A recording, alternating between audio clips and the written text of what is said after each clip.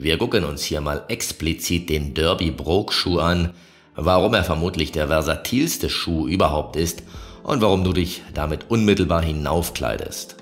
Man muss gleich sagen, dass es sich bei diesem Schuh streng genommen um keinen formellen Schuh handelt, sondern du immer noch relativ leger und casual unterwegs bist.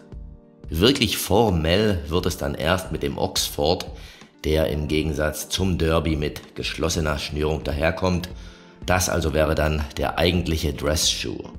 Derby-Schuhe, und das ist das Schöne an denen, kannst du über den gesamten Bereich von Casual bis hin zu teilformellen Business-Anlässen tragen.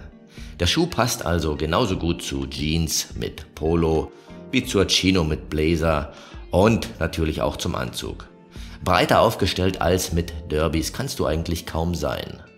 Ist der Rest deiner Kleidung eher casual, ich denke da an Jeans mit Shirt oder von mir aus auch trendige Lederjacke.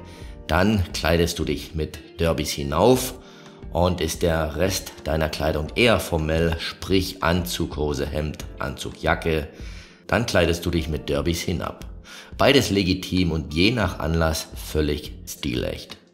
Dass ich hier jetzt nur auf den Broke Derby eingehe, das hat auch einen Grund, denn je mehr Akzente ein Schuh hat, in diesem Fall die Lochmuster, desto weniger formell ist er im Allgemeinen.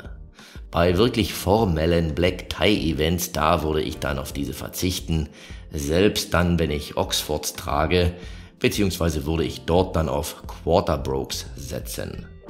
Generell aber ist unumstritten, der Derby-Schuh wertet einen Stil, verglichen mit jedem Sneaker der Welt auf und trägst du einen, dann wirst du auch anders als ein Teenager mit kitschigen Sportschuhen behandelt werden. Das steht auch mal fest. Auf welche drei Qualitätsmerkmale du bei klassischen Lederschuhen achten solltest, dazu habe ich schon ein Video gemacht, das du dir ansehen solltest. Ja, wenn du Schuhe in diesem Bereich suchst, die gut verarbeitet sind und sogar ein bisschen Prestige mitbringen, dann kann ich dir die Hersteller Loke und auch Shoe Passion empfehlen. Hier gibt's im Online-Shop richtig ordentliche Angebote. Beide Hersteller haben ein gutes Renommee und die Schuhe, ja, die sind auch als robust und haltbar bekannt. Klick dich am besten mal durch die Modelle, hol dir vielleicht ein paar und erfreu dich an den Reaktionen, denn man wird dir ganz klar sofort mehr Stil zumessen. Ziemlich egal, wo du dich aufhältst und wie gesagt, wie der Rest deiner Kleidung aussieht. Ich setze dir einen Link unten in die Beschreibung. Ja, diese Schuhe müssen auch wirklich nicht immer jenseits von 300 Euro kosten, dass es auch günstiger geht. Das zeigt zum Beispiel auch die spanische Marke Colflex.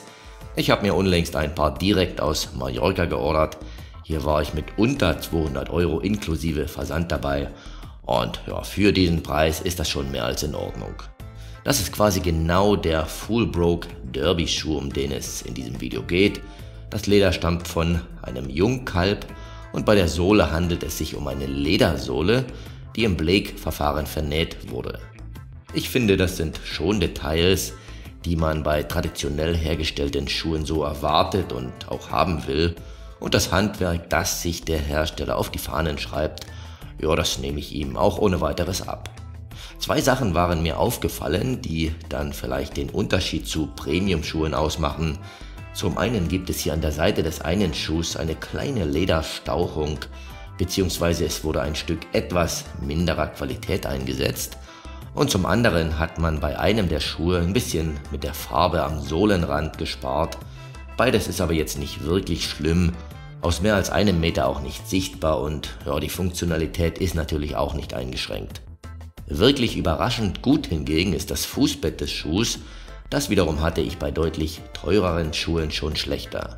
Hier wurde offenbar eine sehr gute Fußausballung verwendet bzw. eingearbeitet und die Ergonomie ist echt so gut, dass monatelanges Einlaufen hier bestimmt nicht nötig sein wird.